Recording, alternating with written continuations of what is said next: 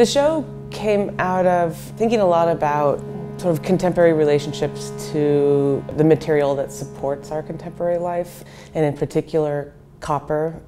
It's a paradoxical material. It's like everything that we're doing, like the camera you're using is filled with copper. All of the walls are filled with copper and other kinds of conductive materials, and they make everything that we take for granted in contemporary life possible.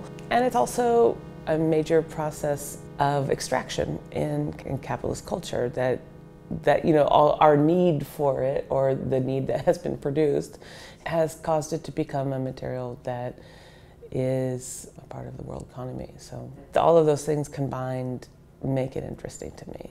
As an artist, I'm always torn between thinking and actually making things.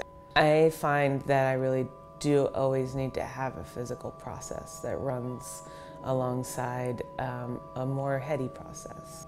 Conduct Matters or Conduct Matters runs from May 6 to August 6, 2017.